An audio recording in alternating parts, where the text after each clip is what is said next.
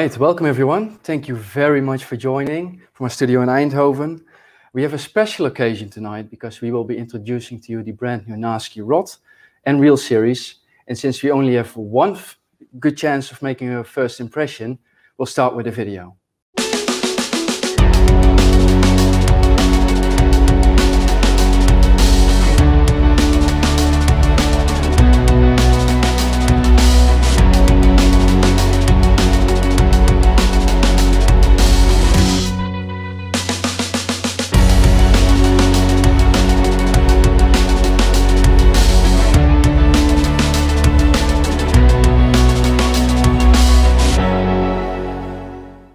Right, welcome back. So what's new compared to the previous reel model? What makes the rod so perfect for your type of fishing and what makes the two of them together uh, such a great combination? My name is Tim and this is Bart-Jan and over the next 30 minutes we will be explaining you all about these new products.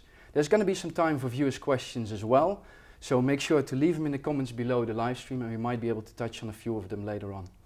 Uh, last but not least, there's going to be a special giveaway as well you can actually become one of the first to start with the new Nasci rod. That's for later. Let's go over to you, Bart-Jan. Could you please explain to us real quick why you're so excited about these new products? Yeah, thank you for the introduction, Tim, and uh, a warm welcome to everybody who just tuned in.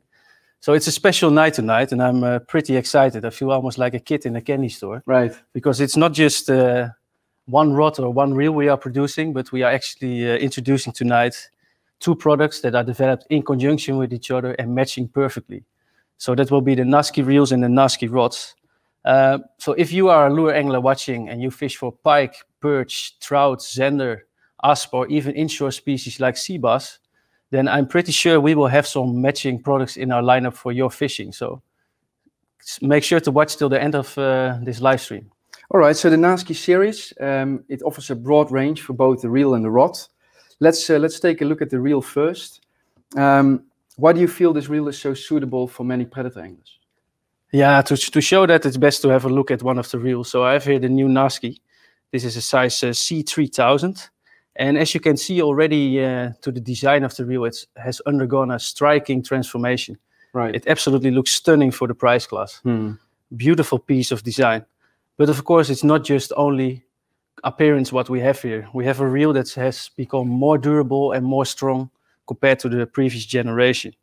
Uh, it will be offered in 12 sizes, so mm a lot of options. Smaller size 500 can be used for trout fishing up to a size C5000 All right. with cross carbon drag for heavy fishing styles like pike fishing or sea bass fishing. So for sure there will be a reel in the lineup for uh, every type of lure fishing uh, in Europe. Uh, also, these reels, of course, come equipped with some proven Shimano technologies like our Hagane gear, Core Protect on the body and on the line roller, uh, X-Ship system, a G-free body, our ARC spool design, and one of the new features uh, from Shimano Silent Drive. So it's absolutely packed with features as well. All right. And you mentioned already the, the, the strength and the durability. Um, what is it exactly that makes this reel so strong and durable? Yeah, to explain that, it's first good to look at strength. So what makes this reel strong? So first of all, we have our Hagane main drive gear. So our Hagane gears are produced with cold forging technology. And cold forging makes sure ensures that we can make drives that are much stronger and more durable compared to similar gears uh, made by more conventional processing methods, like for example, die casting or machine cutting. All right. So a really strong gear that will withstand the test of time but it's also the X-ship system. Mm -hmm. So the pinion gear inside the reel is supported at two points by a bearing, which creates a lot of stability, especially in moments when a lot of power is put on a reel, for example, when reeling in a big fish. This will give you more power when reeling in a fish.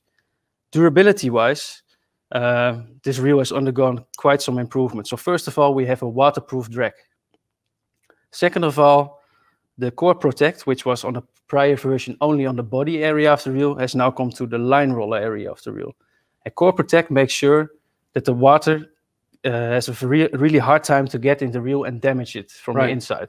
So you can imagine a part like the line roller where the wet line goes through, mm -hmm. which is especially important in salt water.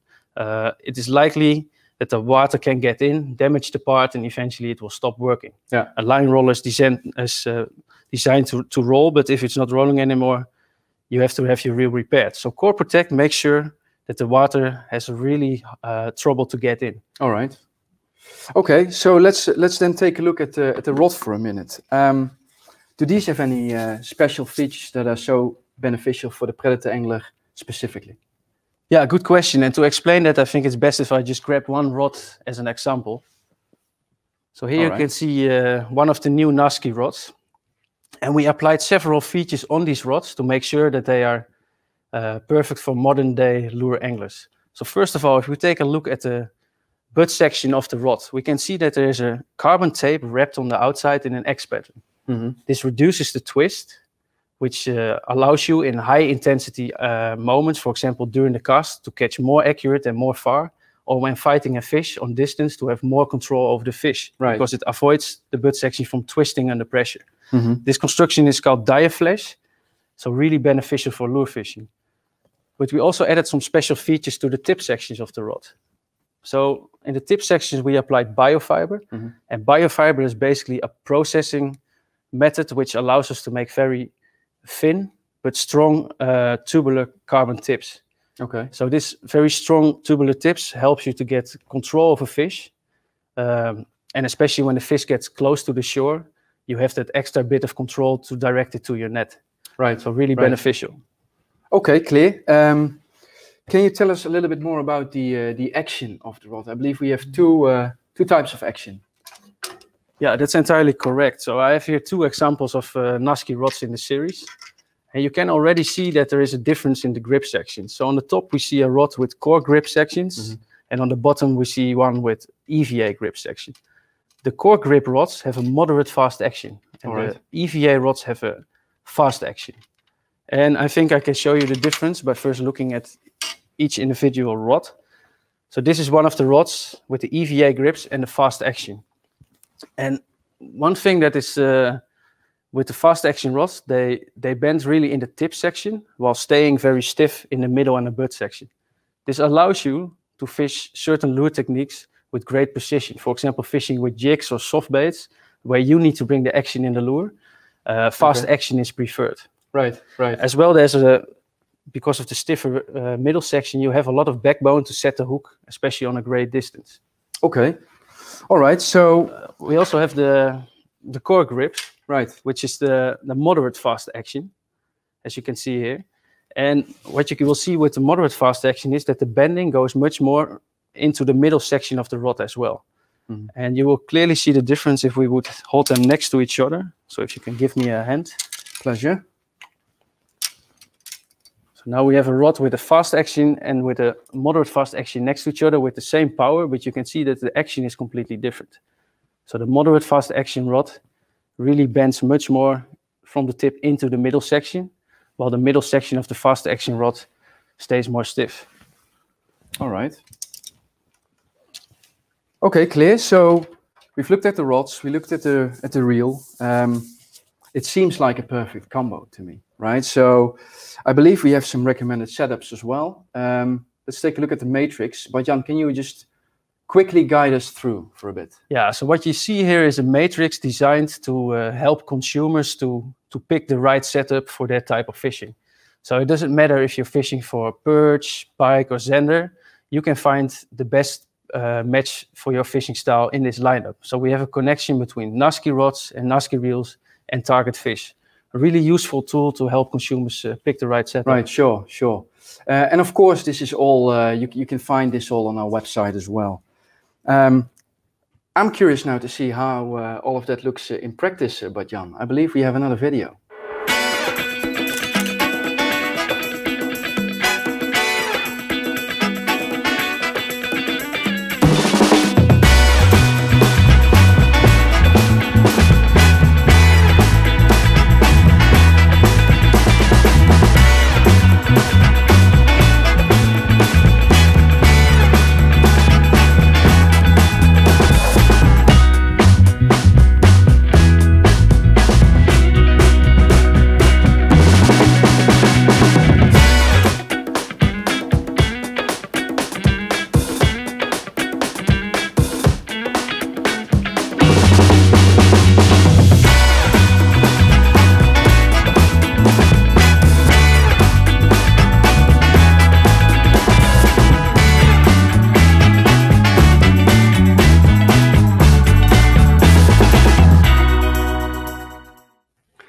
Be honest, Bart-Jan, that was uh, that was a decent perch. My uh, my personal best is not gonna get anywhere near that size, right? So I have to say I'm a little bit jealous. Um, can you tell us where you where you went on, yeah. on that shoot? So thanks first of all, but uh, those were two great fishing days. So we we shot this video at the end of the predator season, so in March this year. Mm-hmm. And uh, as you could see, we went fishing in two completely different settings, also to test the rod. So in an urban setting, which was in Rotterdam, yeah. and the second day we went to uh, a big lake connected to one of the river systems in the Netherlands. All right. So the first day when we went to Rotterdam, the target was really to catch uh, a zander, and we fished in the main canal going through the city, and as well into the smaller harbors into the city. It was a really tough day. Mm. It was also my first time fishing in this city. It has a lot of water. Uh, I tried many, many lures. I missed a few bites, but I couldn't really hook into a fish. But luckily, at the end of the day, I managed to catch uh, the nice zander you saw in the video. Right, saved the day. It was definitely saved the day. Yeah, yeah. all right. The second day, however, we went to the, the river lake, so a more natural environment. Yeah. Um, usually in, in late autumn and winter time, these kinds of lakes are very good fishing spots to target big perch. So mm. that was also the target of the day. Um, so usually when the water temperature is still a bit low, the fish is not so active. So I tend to fish uh, quite slowly, and to do so, I fish with the Carolina rig or Texas rig. Okay. I uh, I look for structures in the water like mussel beds because I know it attracts uh, big perch. And when I find these places, I precisely fish them. Right. But even that day, I didn't get so much response on slowly fished Carolina rigs or Texas rigs. So at one point, I switched off to uh, switched on to a more active approach with a jig and a okay. creature bait, so a more aggressive fishing style. And uh, I managed to catch the beautiful perch. Yeah. We didn't measure it, so okay. uh, how big it was, we will never know. But what an amazing fish! Yeah, yeah the result was there for sure. Uh, like I said, you know, I'm jealous. So we, uh, you should take, uh, you should take me uh, sometimes on a trip like that. All right. I think it's time for some viewers' questions, guys.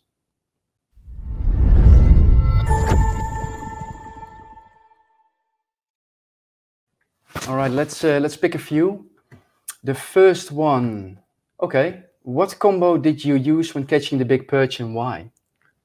Yeah, so during uh, the fishing in the in the lake, I fished with a, a, fast action Nasci rod because I was fishing jigs and I want to have uh, precise control right. over my bait and react yeah. quickly to everything happening under the water. Uh, because it's also very easy to uh, get line breakage uh, on areas uh, with structure like a mussel bed. Mm -hmm. So precise control is very important. So I chose a fast action rod. Uh, I fished with the the seven foot four ml rod, which has a casting weight of seven to twenty one gram. Okay. So a great rod for all round perch fishing and also lighter zander applications. I paired it up with a Nasci in the size 2500 because that gave a, a, beautiful balance and very easy to fish with for a long time. All yeah. right. Clear. Um, second question. I'm going to fish with crankbaits. What kind of rod action do I need? Yeah, that's that's a good question. So actually, I just explained it uh, when fishing with jigs, and I need a lot of manual operation. I like to fish with uh, fast action rods. Mm -hmm. But uh, lures like a crankbait have a very uh, specific action, which comes out very easily. The angler doesn't have to do that much. The only thing you basically need to do is throw it out and retrieve it. Right. Of course, you can uh, change the speed of your uh, retrieve. You can mm -hmm. do stop and goes, but in the end, there's not much tactical approach needed except for casting and retrieving. Okay. And for this kind of fishing, these crankbaits have a certain action and that action that comes out the, the best way with a moderate fast action rod. Sure. Because of the little bit more absorbing middle section, uh, allows the, the lure to to uh, move freely to the water column. All right. So if I would fish the same lure with the fast action rod, which has a much more stiffer middle section, uh, it could impact or negatively influence the action of the lure. Yeah. So uh, that is one of the reasons to to fish a crankbait with a moderate fast rod, um, so that the action comes out freely. Another reason is, especially when you would be out throwing the whole day crankbaits, uh, often they have a very strong vibration. Mm -hmm. You could get feel quite some fatigue at the end of the day in your yeah, in your yeah. arm and your wrist uh, because of the vibration. If you would fish it with a fast action rod, so that's also one of the reasons. It basically has to do with the comfort. Yeah. Uh, to fish with a moderate fast uh, action rod. Makes sense. Makes sense. Let's uh, do two more. Can you tell me more about the sensitivity of the rod? Yeah, uh, good point. So actually, I think so far in the live stream we talked most uh, about the strength and durability mm -hmm. of the mm-hmm. rod due to yeah. the the diaflash and the biofiber construction. But I'm a lure angler myself, and I know how important sensitivity is. You want to yeah, get right. very good feedback what's happening under the surface. Mm -hmm. You want to feel the different bottom structures. You need to know if there's some weed or dirt attached to your hook influencing the action of your lure. And of course, you need to feel the smallest bite to react. So sensitivity is important. And when developing these rods, we took that into account. So that's also the reason why we use uh, high modulus full carbon for the blanks. Those are great transmitters of anything that's happening under the water. Mm -hmm. And one special feature we have on this rod is that on top of the reel, set, reel seat, there's a kind of opening where you can put your thumb directly on the blank. So you are in direct contact with this high modulus full carbon blank, uh, helping you to get very clear feedback what is happening under the water. So these rods are not only very strong and durable, and let's not forget beautiful looking, but also very sensitive. Right. Okay. Um, shall we do one more? Last one. What is new on the Nasci reel compared to the previous generation? Yeah, so the, the reel ha has undergone some uh, striking uh, transformation design uh, cosmetic wise. Yeah. It looks absolutely stunning. It looks like it a does, much yeah. more expensive reel. And it also feels that way. Mm -hmm. And it feels that way because of the improvements inside. So it's not only improved cosmetically, but we added a lot of uh, very important features, especially contributing to strength and durability. So it now has a waterproof drag. It has added Core Protect to the line roller, which was previously on the prior version only on the body. Mm -hmm. So much more durable and uh, protected against water intrusion and damage because of that. As well, even though we made this reel so much more stronger and durable, uh, we managed to make them lighter as well. Yeah. So if you would compare uh, 2500 size in the new version with the prior version, you mm -hmm. will mm-hmm. see that it is about 10 grams lighter. It's quite that difference. quite an amazing achievement. And there's two more features I would like to highlight. So first is a silent drive. So silent drive was originally introduced on the Stella. And actually what silent drive is, is that the engineers of the reel uh, looked at the tolerances between the gears and tightened them up, tightened them up to a minimum, what's possible uh, nowadays with engineering. And as a result, you get a very smooth rotation, which you will especially know under pressure when reeling in a lure which pulls heavily on the line or mm -hmm. reeling in a fish. And it also creates a more silent reel. So if you now give the reel a spin, you will still hear some noise, but it's not from the in inner parts of the reel, but it's more from the rotor on the outside. So it's becoming more smooth and silent. And another big improvement point, which uh, I think adds a lot to the durability of the reel, is the screw-in handle. We now have a handle that screws in directly into the main gear of the reel. Uh, because of that, there's much less handle play, and mm. especially when fighting a big fish, you right. have a much more stable and powerful control. Right. So actually a lot improved on this reel. Yeah. Yeah, you can see that, and it, it looks it looks amazing. Uh, really, I think um, we're gonna we're gonna go to the uh, to the giveaway already.